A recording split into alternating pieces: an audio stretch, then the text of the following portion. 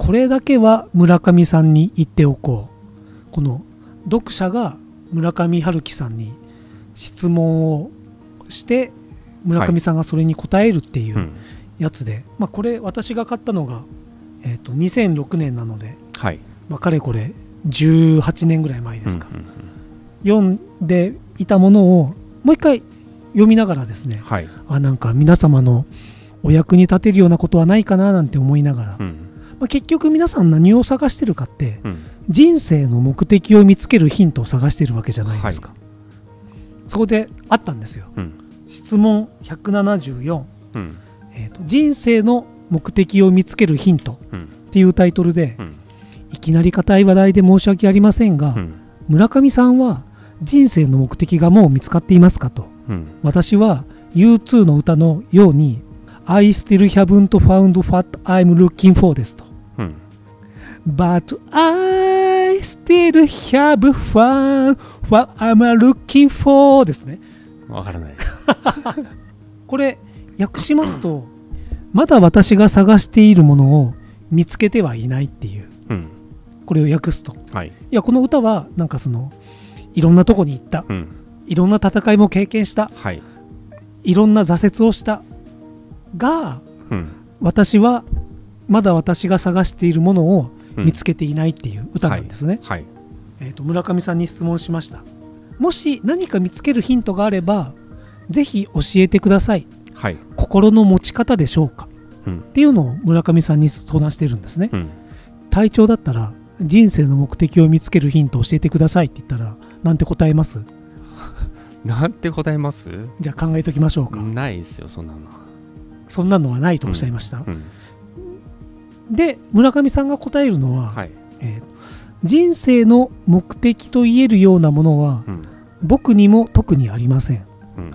人間というものは生まれてうん。ドタバタと生きてうん。死んで失われていくだけだというのがうん。僕の基本的な人生観ですと。うん。目的も意味もうん。特に何もありません。ただそのドタバタの中にある種の一貫性を見出すことによってうん。無意味さの苦しみをある程度緩和させることは可能だろうと考えています。うん。僕の場合はそれは小説を書けるところまで書き続けることです。うん。というところでよろしいでしょうかと。っうん。ていう答え方をしていて、はい。えーとまたうん。自分が何をしたいのかがわからないっうん。ていう相談があるんですね。でこの相談の主は私は現役高校の非常勤講師をしている一児の母ですと。うん。32歳になりますがうん。ちょっと待ってね、えっと、2006年に32歳だと。はい。同い年ぐらいかもしれない。うんでいまだに自分が本当に何をしたいのか分からず悩んでいますと。うん。夫は最初のうちはまだまだ尻が青いんだと小バカにしていましたが、うん私の真剣な悩みを見て諦めたのか最近では好きなことをやったらと言っていますと、うん。でこでもこの言葉も理解してくれたのか見捨てられたのかがよくわからない。よくわかりませんと、うん。ところで最近村上さんが翻訳した最後の瞬間のすごく大きな変化うん。というものを読んでいますと。でこれは77歳の女性が書いたというものでとても興味を持った、読み始めたばっかりだが人生というのは生きることだけでも結構大変だなと思っていますと。うん。で人生が終わる前に自分が本当に欲しいと思ったものを手に入れることができたらいいなと思います。ちなみに私が欲しいのはささやかな幸せですと。うん。あでもこれそういえば村上さんの言っていたうん。小格好ですねと。うん小さな確かな幸せと書いてうん。小格好というところに対して、うん。じゃあ隊長ははい。自分が何をしたらいいのかわからない。ですけどうん。どうしたらいいんですかって聞かれたら何て答えます？別に分かんないならしなくていいんじゃないですか？隊長はなんかねはい。そそれで一貫してますよね。はい。じゃあ隊長はうん。自分が何をしたいのか分かってますか？別に分かってないですしたいことしてます。よじゃあこれはい。えっ、と小説家村上さんが何て答えているか、うん。村上さんが言うのは、うん。こういうのを言うのはえーと分別臭くてすごく嫌なのですが、うん。人生で大事なのはうん。何を得たかうん。ではなくどのように求めたかうん。ということではないかと僕は思いますと。うん例えば僕はずっとマラソンを走り続けています。うん。もともと運動に才能があったわけではないし今でも大したランナーではない。特に自慢するようなこともないような普通のランナーだが20年近く走り続けてきたというのは、僕の人生にとってとても貴重なことですと。うん。その貴重さは結果や形ではなくそれがどのように行われてきたかという結果にあるのであるのですと,、うん。えーと自分は本当に何を求めているのかというのは非常に難しい設問でそれにはっきり答えられる人はむしろ少ないでしょうと。うん。僕自身はそういうことについて考えた経験はほとんどない。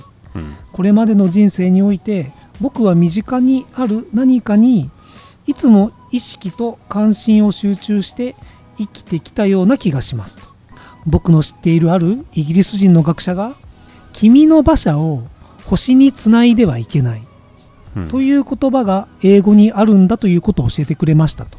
Don't hitch your wagon to the stars と言いますと。もともとは問題を安直になんとかイズム。これはこうである。うんとスパッと切り取って大冗談に構えてそういう風だって決めつけて言ってくるようなことを信じないうんっていうことだと。君の馬車を星につないではいけない。えーと人生そのものについても適用できる眼蓄のある素敵な言葉だと僕は思いますと。というのをはい。読んでいてですね、うん。前にうん。この我々の動画であの十牛図ってやったじゃなはいいですか。はいあれ十牛図っていうのはあの禅の教えでうん。悟りを得るまでうん。の10段階を、えっと絵にまとめたものがはい。十牛図って言って、うん。あれそのスタートがうん。自分を探すところから始まるんですよね、うん。自分を探すところで初めて本当の自分を探す旅うん。にからスタートでその本当の自分と途中で見つけて、縄を結んで引っ張り合いっこしてうん。乗りこなしてうん一体化してっていう過程なんですけど、うん。あれって見つけに行った先に牛がいて、うん。まあ、この牛が本当の自分だって言うんですけど、うん。あれの話ってこれになっていく話ですよね、見つけに行った先に牛がいて、うん。なんて言うんだろう。な途中まではなっていくけどそうでもない。なんか僕の中であれは、い。うん。もうあの牛にうん。決めたみたいな感じ。あの牛は自分ですよね自分のなりたい自分なのか。自分のお尻みたいな。えーなりたい自分とか。まあそうですね。自分の中で作った願望みたいな。願望みたいなものだと思ってます、その本当の自分っていうのは、はい。なんでそれはなんかなんて言うんだろう。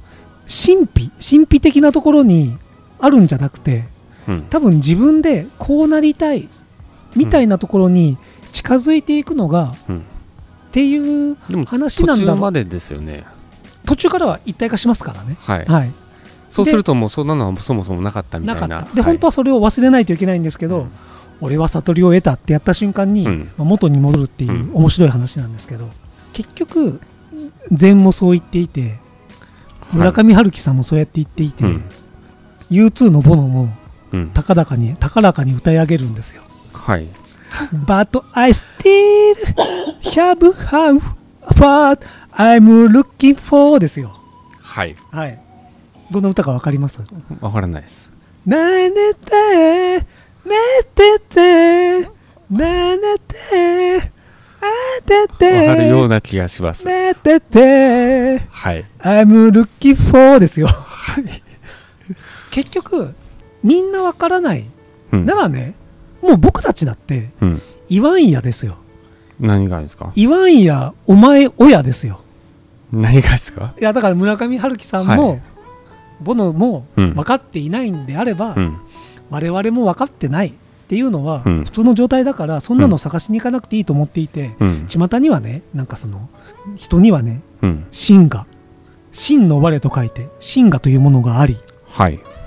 これを僕は見つけられます。うん。セミナーを開いてます。うん。120万ですみたいな。うん。けしからんけしからんやからがいるんですよ。なーにやっちまったなーなんですよ。うん。それは本当にそういう話ですか？そういうのがあってうん。同じことを言ってる可能性もありますよね。はい？あだから僕の中ではそ,、そんなものに120万とかねはい。払う必要なんてねえよと思ってるんですよ。それはその人の価値ですからね。大将その辺はクールですよね。うん。その価値がある人には価値があるかもしれない。えだってそんなことないよって言われるんですよないよって言われてそうなんだって。そうなんだ120万使ってよかったになるんですか？なる人もいるんじゃないですか？だったら美味しいもん食べませんって。宗教につい込む人いるじゃないですか。でそれでこう安らぎを得られてる人もいるかもしれない。僕は得られないですよ。美味しいもん食べた方がいいですよ。そう僕もあの美味しいもん食べた方が、うん